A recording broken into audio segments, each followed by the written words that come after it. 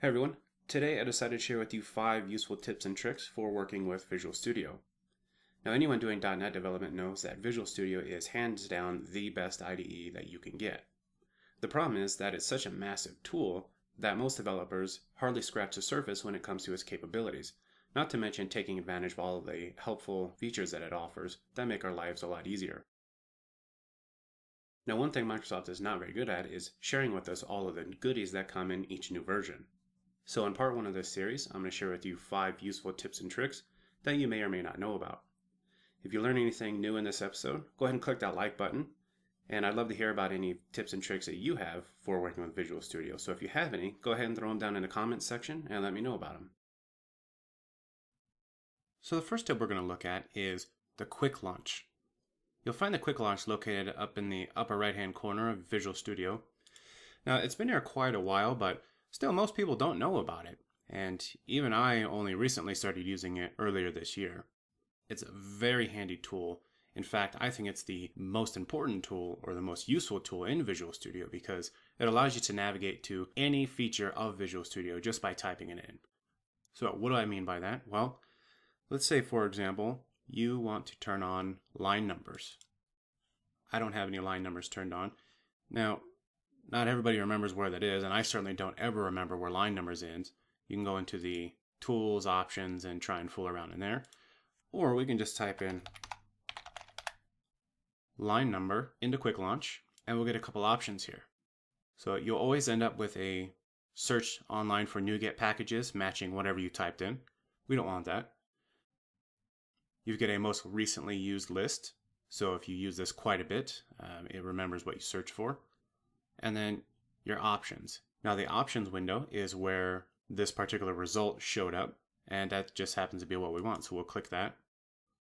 And when we do, we're taken to the options window and you'll see that we have line numbers as an option that we can check. So again, it's extremely useful, but that's not the only thing.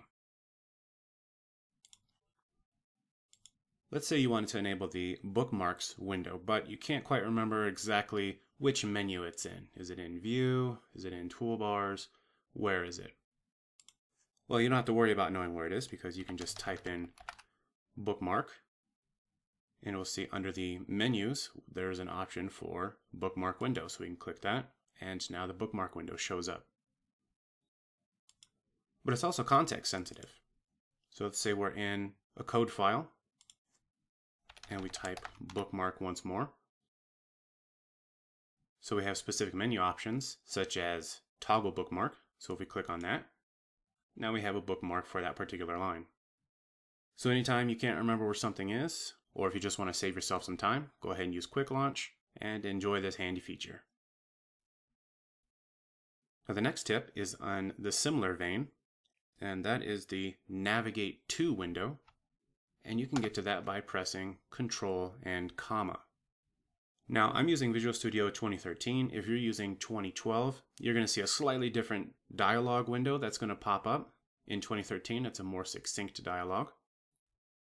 Now what this does is similar to Quick Launch, but instead of finding something within Visual Studio itself, you're going to look for something within your code base.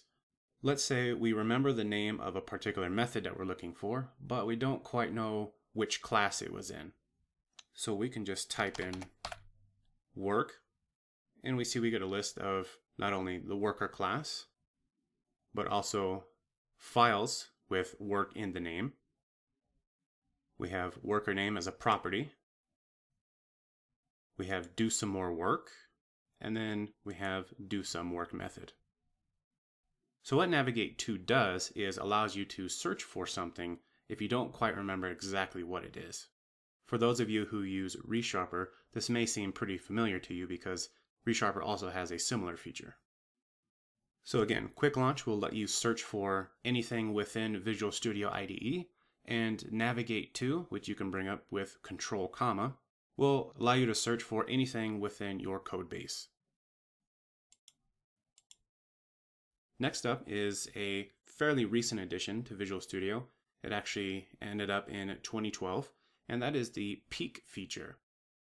So what does Peek do? Well, let's start off by examining this line of code here. we're invoking the do something method on the instance of the dummy class. But what exactly does do something do? Well, we can figure it out by navigating to it. We can either F12 or we can right click and go to definition. When we go to definition, we navigate away from the code file we are originally in and we end up in the dummy class file inside of the do something method. Now this is great because we can come in here and we can look and see what exactly this method is doing and then make changes as necessary. But the problem is that we are taken away from the original code that we are looking at. So what Peek does is allow us to view or navigate to this particular method without actually leaving where we currently are. We can invoke Peek using Alt F12 or right click and choose Peek Definition. Now instead of navigating to the dummy class file in a new window, we get a little preview window right underneath the line of code we are looking at. So inside of this window, we have access to the entire dummy class file and we can make changes as necessary. And then when we're done, we can save and do everything else as if this were a regular file. The only difference is it's just a minimal window that's convenient to work with. If you want to continue working with this file permanently, you can click on this icon here, which is Promote to Document, and it'll show up in your window tabs.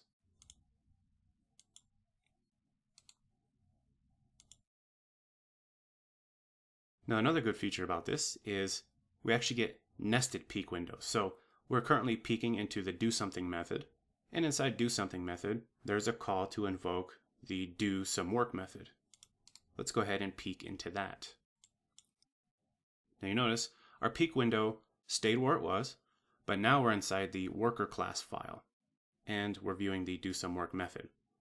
So again, we can work with this entire file if we want, but you'll notice that we have some little dots up here. This is pagination, so we can go back and forth to the different peek definitions that we are working with without ever losing our original spot or losing the context of our call stack that we're trying to work with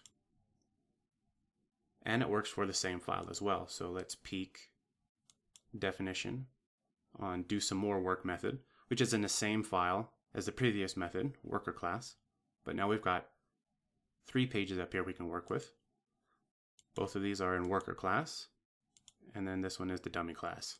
So we can just navigate back and forth as necessary.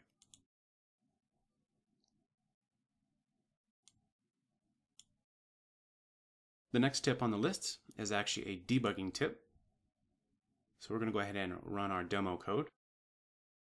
And we've ended up inside of the worker class, do some work method.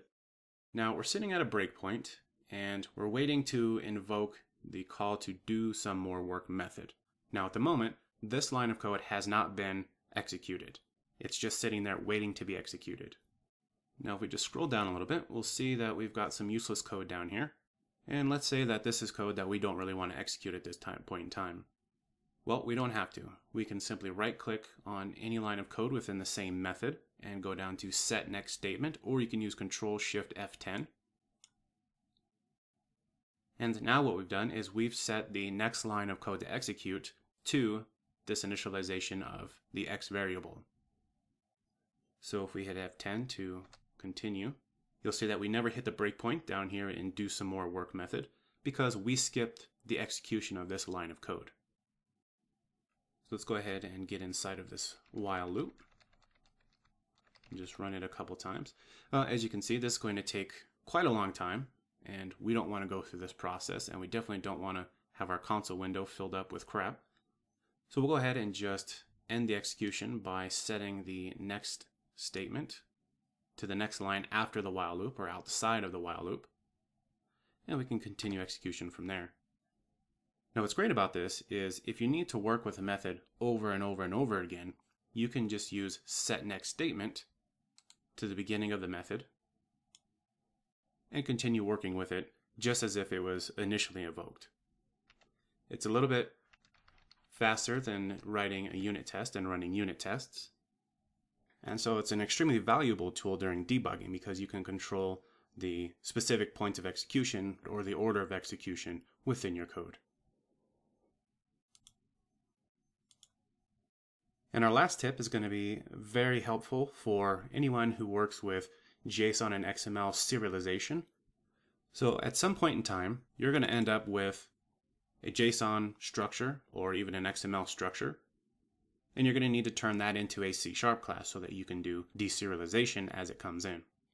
So if you're like me, you'll go onto Google, you'll find one of the many available tools that are online and paste your JSON in there and it's going to return back some C Sharp code.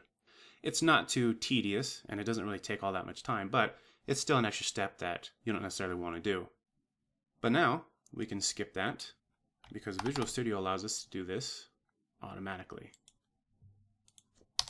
So I've gone ahead and copied a JSON object and I'm going to paste special, paste JSON as classes. And what we get is two new classes. The first is a root object with the properties name and address. As you'll see in the JSON object, we have name as a string. And then address is a nested JSON structure with street and city. And we also have address class that was created for us with properties street and city. So it saves you a little bit of time. You don't have to go out to Google. You don't have to use external tools or rely on external tools. You just copy the JSON from the source and paste JSON as classes. Now we can do the same thing if you work with XML. So we've got a similar structure here, just an XML instead of JSON. And we're going to edit, paste special, paste XML as classes. This time we get something that's a little more verbose. We've got a person class, and then we have a person address class. Each one of these has serialization attributes added to it. And then you notice it's got the longhand property definitions with the backing fields, but you go ahead and modify this if you want. All right, so those are the tips that I have for you this time. If you learned anything new, go ahead and click that like button. And if you have a favorite Visual Studio tip and trick, go ahead and add it to the comments. Alright, that's it for this episode. Be sure to subscribe to our channel, follow us on Twitter and Facebook, and visit codeporn.com when you have nothing better to do. If you have an idea for an episode or want to be a guest on an episode, send an email to codeporn.show at gmail.com and let me know. Thanks for watching.